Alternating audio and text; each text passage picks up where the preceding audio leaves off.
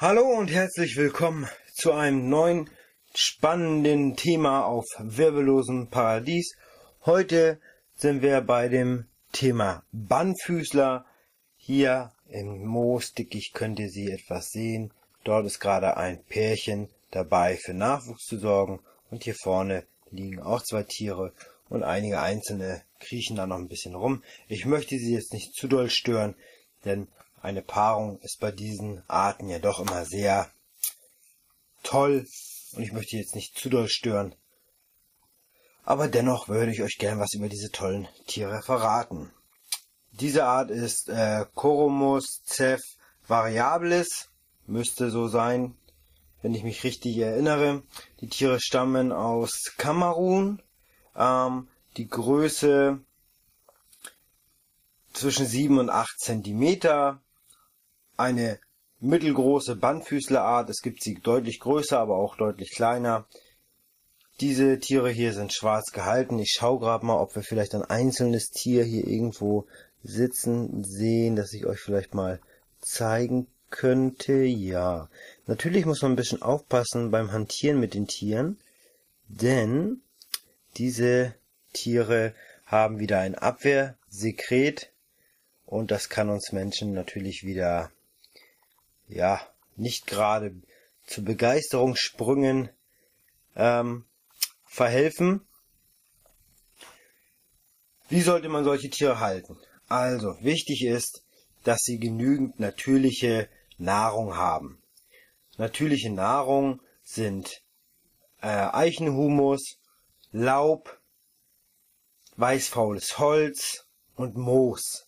Bitte unter keinen Umständen irgendetwas anderes füttern. Kein Gemüse, kein Obst oder sonstiges. Diese Tiere sind tatsächlich darauf angewiesen auf Laub, zersetzendes Laub, weißfaulendes Holz und Moos. Füttert ihr mit was anderem, geht der Verdauungstrakt kaputt und ihr habt nicht lange was davon. Darum ist es auch eins äh, der Tiere, die meistens den äh, im, Import nicht überstehen. Dazu gehören auch die Saftkugler, die auch immer falsch gefüttert werden. Nur mal vorweg. Dies ist jetzt eine von meinen drei Zuchtgruppen. Da sind neun Tiere drinne in ein 5 Liter ähm, ja Kanister, wie man es gerne nennen möchte. Ich habe mit diesen Größen die besten Erfolge erzielt in der Zucht. Nicht bei dieser Art, aber bei anderen Arten und ich halte es genauso bei dieser Art wie bei anderen Arten, die ich nachgezogen habe. Die Temperatur sollte zwischen 22 und 26 Grad sein. Ich habe sie so bei 24 Grad bei mir im Regal stehen. Ähm, gesprüht werden muss alle zwei Tage mit lauwarmem Wasser. Am Tag brauchen sie so 50 bis 60 und nachts 80 bis 90. Die Tiere mögen es etwas feuchter, aber wieder keine, ja, zu nasse Umgebung. In der Natur fressen die Tiere auch ähm, Pilze oder eben, wie schon gesagt, verrottetes Laub, weißfaules Holz. Also nimmt die Finger weg von Obst, Gemüse. Die Pestizide können diese Tiere überhaupt nicht ab.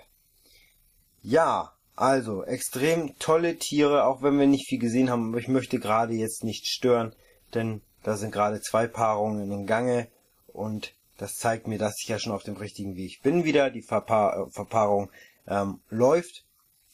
Wenn alles gut klappt, legt das Weibchen in den nächsten Tagen Eier unter die Moosschichten, deswegen ist das Moos sehr wichtig.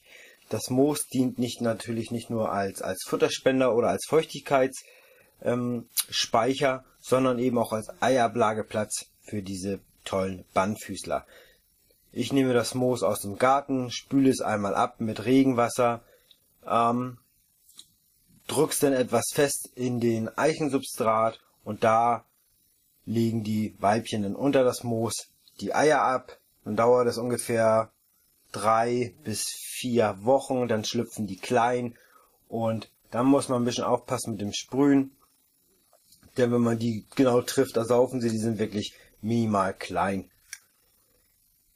Äh, ein Tipp noch für alle, die mit Moos in ihrem Terrarium ihre Dekoration etwas aus, aufhübschen wollen. Moos müsst ihr aufpassen, wo ihr es sammelt. Wenn ihr es kauft, ist es kein Problem. Wenn ihr es selber sammelt, solltet ihr erst mit dem Förster eures Waldes kurz Rücksprache halten, denn viele Moosarten stehen unter Naturschutz und der Förster hat das auch nicht sehr gerne, wenn man dann loszieht mit einem 50 Liter Eimer und den vollknackt. Wenn man mal eine Hand mitnimmt, wird keiner was sagen. Dennoch bitte erst Rücksprache halten. Das Moos darf kein Leitungswasser bekommen. Im Leitungswasser ist Kalk und Kalk mag Moos überhaupt nicht.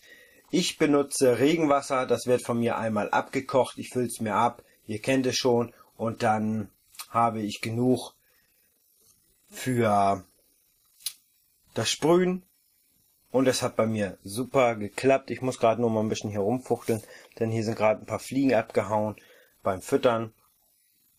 Und ja, das war es dann auch schon wieder von mir an diesem wunderschönen Freitag.